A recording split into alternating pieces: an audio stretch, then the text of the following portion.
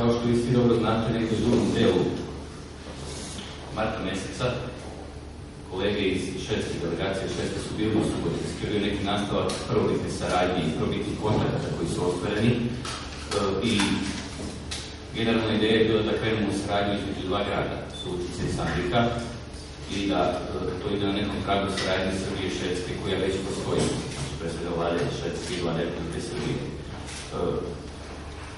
Organizovanje ovog međunarodnog sajma i regionalnog sajma prirode u Subotici je bila dobra prilika da mi pozovemo naše kolege iz Švedske da dođu ovdje sa svojim prirodnicima, da dođu ovdje kao delegacija lokalne samouprave i da nastavimo te razgovore da ih u nekom trenutku e, počnemo konkretizovati i da dođemo do nekog cilja u nekom narednom vremenskom periodu. Nama je drago što su se oni odazvali i prema sastavu delegacije bilo odmah jasno da oni dolaze u operativnom smislu, dolaze veoma operativno, dolaze da rade.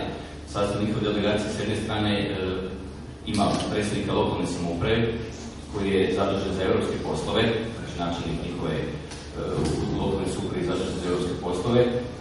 Imamo predsjednika asocijacije njihovih preduzetnika, kao jednu non-profitnu nevladinu organizaciju koja se bavi interesima njihovih preduzetnika i imamo same preduzetnike koji ovih dana intenzivno pregovaraju i razgovaraju, upoznaju se sa našim privrednicima, kako u samom gradu Subotici, tako i delom u Srbiji, s obzirom da vidimo da ovdje ovih dana zaista aktivno idu po terenu. E, to nam pokazuje da možemo staviti jednu konkretnu saradnju. Tokom ova dva dana mi smo imali intenzivne razgovore, pre svega sa gospodinom Lindelom i sa gospođom Klin, oko toga kako ćemo uspostaviti, kako ćemo ojačati našu saradnju e, na nekoliko nivoa. Prvi nivo je kako da povežemo bolje e, naše privredne subjekte, naše preduzetnike, naše kompanije i kompanije iz Sandika iz Švedske, e, koji su to interesi, koji su to putevi koje možemo otvoriti između njih kako bi oni ostvarivali bolju privrednu saradnju. To je jedan deo saradnje. A drugi, drugi, druga tema naših razgovora je bila u pravcu kako zajednički da nastupamo prema fondovima Europske unije. I u toku tih razgovora tražili smo tu zajedničku nit, koja je to zajednička nit koja nas povezuje, koji su to zajednički interesi koji nas povezuju i koji su to sljedeći koraci kada nađemo tu zajedničku nit. Moram reći da smo našli dosta interesantnih stvari, dosta tema smo otvorili i na bazi toga smo odlučili da i potpišemo ovo pismo namjerama koje govori i koje nas obavezuje da sve ovo što radimo ne bude samo protokolarna stvar, nego da idemo u konkretne stvari na bazi pismo namjerama mi ćemo krenuti određenom dinamikom da sprovodimo uh, određene stvari koje označavaju da ćemo prvo da uradimo projektnu ideju, nađemo koja je to ideja, da prepustimo zajedničke interese, da identifikujemo izvore finansiranja u okviru fondova Europske da napravimo zajednički projekat, da nastupimo zajedno, ako dobijemo sredstva, da implementiramo to. E, to je nekako, i naravno ja govorim o sektoru privrede u ovom trenutku, e, prevashodno jer to je oblast kojom se ja bavim i to je oblast koja je u ovom trenutku veoma, veoma važna. To su neke dve dva nivoa naših razgovora ovih dana i to je neki razlog u koga mi potpisamo pismo i koga se obraćamo vama da vidite u kom pravcu ćemo dalje razvijeti naše odnose i šta je to što možemo očekivati u nekom narednom periodu na nivou konkretnih rezultata. We, together with the Association for the Entrepreneurs, received an invitation for the Radio Magna and also for the Chamber of uh, uh, the Commerce. Uh, and we had an idea that this is a very good opportunity for us to connect entrepreneurs of small and medium-sized companies in uh, both Sandviken and here in Trubotica. Da.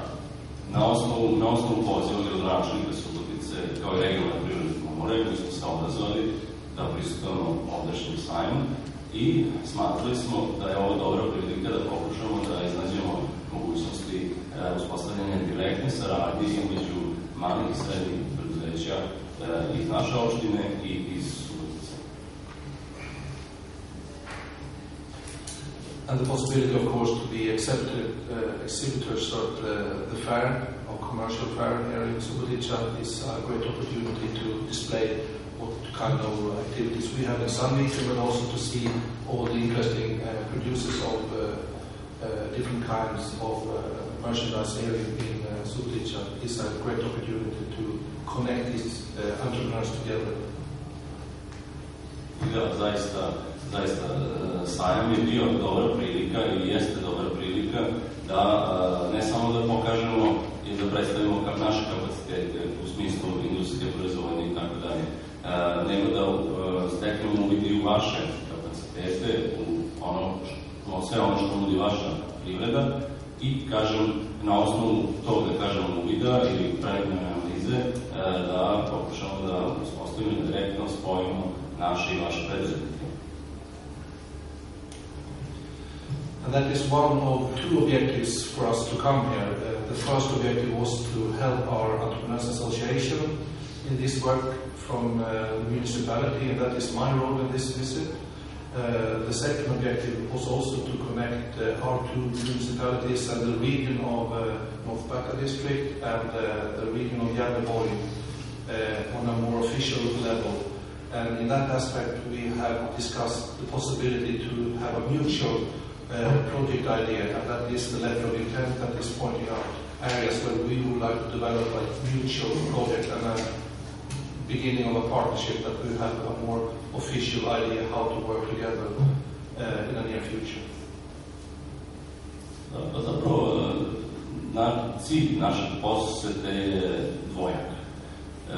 S jedne strane je cilj bio da se povežu, da kažemo, asocijacije i organizacije preduzetnika međusobno, a da mi pomognemo u tom povezivanju, a sa druge strane pak da uspostavimo konkretizovaniji vid saradnje između dveju opština, opštine Sandviken i Subotice, i to u vrlo konkretnim oblicima. Naime, kao što isvedoči sadržaj pisma o namerama koje ćemo danas potpisati, naš je cilj dakle, da zajedno sa partnerima iz Subotice u ovom sa gradskom upravom učestvujemo na projektu, na jednom međunarodnom projektu u okviru multilateralnog partnerstva, a čiji bi finansijer bio neki od fondova Evropske unije.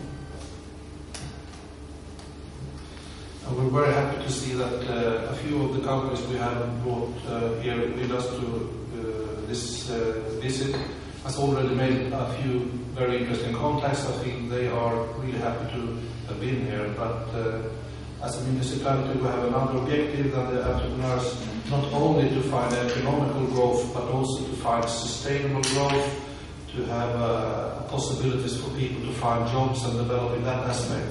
So we have also an objective that we could create a good uh, development for both our regions in this aspect and have healthy companies that work good together.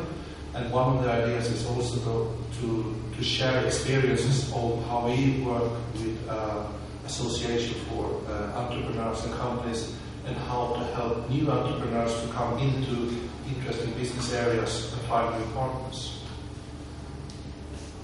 Svakako je, međutim, u okviru ovako, da kažemo, više strane saradnje, svakako je, da kažemo, lajtmotiv te saradnje pomoć preduzetnicima. Dakle, razmena znanja i iskustava sa vama, a u cilju, da kažemo, neke plodonosne saradnje. Ja moram da kažem ovde da je u, naravno, ovo partnerstvo uključeno i Severno-Bački upravni okrug. I smatramo da pod tim institucionalnim okvirom možemo da realizujemo dobro saradnje. And uh, we are now entering a new program period with the EU 2020, and uh, it's very natural for us to find the possibility to, together with our new uh, friends of the city council of Sutic and also, of course, Mr. Draghi Vukovic from the North Bank district, to see how we could develop this kind of operations together and also find mutual uh, possibilities with the new programs that are within the EU. Zapravo želimo da uh, iskoristimo mogućnosti koje nam nudi novo programsko razdoblje Europske unije 2014-2020 uh, koje će omogućiti uh, raspisivanje, koje omogućava zapravo raspisivanje konkursa i prijavu na te konkurse, a uh, konkursi su zahtjevni u smislu da zahtevaju žestoko partnerstvo i smatramo da ćemo zajedno sa opštinom, sa gradom I sa okrugom moći da imati dovoljno kapaciteta da učestvujemo na ovim konkursima. So uh, again, from the municipality of Sandviken and uh, on behalf of the National Association in Sandviken, I would uh, express my gratitude for the possibility to be here, and we are very happy to have received this invitation and to have come so far in so short time together. Zapravo na posljedku bih želeo da vas još jednom zahvalim, da se zahvalim našim domaćinima što su nam omogućili da budemo ovde i moram da kažem da e, smo uspeli za veoma kratko vrijeme da postignemo nekoliko vrlo konkretnih dogovora, a o čim rezultatima ćete zasigurno biti obaveštavani u narednom periodu. As the president of the local entrepreneurs Sandviken, I'm really looking forward to this project, but I think it's crucial to find the right people to work with it. Kao predsjednica asocijacije preduzetnika e, Sandvikena e, smatram da je veoma važno pronaći ljude sa kojima možete da razgovarate o konkretnim stvarima i da radite konkretne projekte. I strongly believe that the project itself won't make any achievements, it be the people who will be working within it. And if we can find uh, devoted people with hardworking people, I think we can achieve a lot for both our districts. I smatram da uz saradnju vrednih ljudi sa obje strane, verujem da ćemo za oba naša regiona uspjeti da e, realizujemo vrlo konkretne i opipljive rezultate. I would also like to take the opportunity to thank Mr. Luchansky and the people from the Chamber of Commerce for their hard working to make it uh, so we could be a part of the fair. Da, gospođa Keng je e, žela da se zahvali ljudima iz regionalne privredne komore i mojim malenkovstima, a verujem svima nama na, na pomoći i na ukazanom gostoprimstvu. E, Koje su konkretno oblasti u kojima bi mogla da se ostvari saradnja koje delatnosti e, privrede? Ok, prvo, pitate mene ili pitate kolege koji su se E? I vas jeste. Mi smo ovih dana razgovarali pre svega o malim i srednjim preduzećima. Vi ste u pravu, znači male i srednje preduzeće obuhvataju razne sektore poljoprivrede, ali kao što svi dobro znamo, Subotica nije rudarski grad. Subotica je prvenstveno poljoprivredni prehrambeni grad koji ima određene resurse i mi ćemo te resurse u svakom slučaju koristiti. Ne bih izlazio sad u ovom trenutku pred vas sa nekim konkretnim razgovorima zašto? Zato što mi prema nekom dinamičkom planu koji smo usvojili, do kraja juna ćemo preklopiti ideje jer postoji interes sa strane Subotice nas kao lokalne samouprave, postoji interes kolega iz Sandvika i kada nađemo taj zajednički interes i prvu ideju sa kojom ćemo krenuti, e, onda ćemo izaći pred vas reći to ideja sa kojom mi apliciramo. Naravno, to, će, to je jedan multilateralan e, projekat gdje ćemo mi uključiti naše partnere, pretpostavljam pre svega iz Mađarske i iz Hrvatske sa kojima smo dosta sarađivali, kolege će uključiti svoje partnere iz drugih zemalja, recimo Holandije i mnogo oblasti će biti obuhvaćeno. Ono što je nama važno, kao Subotici i meni kao članu gradskog veća za privredu i lokalnu samoupravu, kako god to gledate, je da pre svega ojačamo u početku našu komunikaciju sa privredom. Da bismo ojačali našu komunikaciju sa privredom, mi moramo da ojačamo pre svega svoje kapacitete, ali moramo da ojačamo kapacitete komunikacije privrednika sa nama.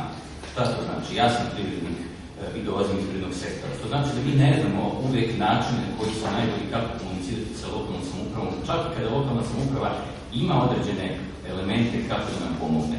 Znači, možda prvi projekat će ići čak u nekoj opštoj oblasti, kako ojačati same organizacije i udruženja preduzetnika i kompanija, mi sad govorimo pre svega o Subotici, kako uspostaviti bolju saradnju, to je jedan aspekt, tako vi ste pitali koji su to pravci razvoja, jer to je neko dubinsko, dubinsko pitanje, koji su pravci razvoja Subotice, ono što je nekada bilo, znači zna se šta je na, na, na bazi čega Subotice razvijela svoju privredu, ta privreda je sticam raznih okolnosti dugog niza godina spuštena na jedan nivo koji nije zadovoljavajući i sve te oblasti koje su bile nekada nema razloga da budu i sada atraktivne, samo moramo davati od koje privrede, od kojeg sektora privrede krenuti.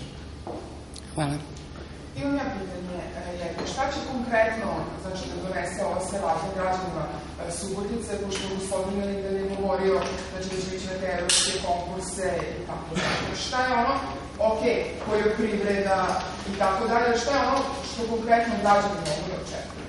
Kada ne budem retoričan, reći vam konkretno, uh, šta je ono što nama svima nedostaje u Srbiji, u Subotici u ovom? Uh, Da li je to novac? Da li je to privredna aktivnost i bolji standard?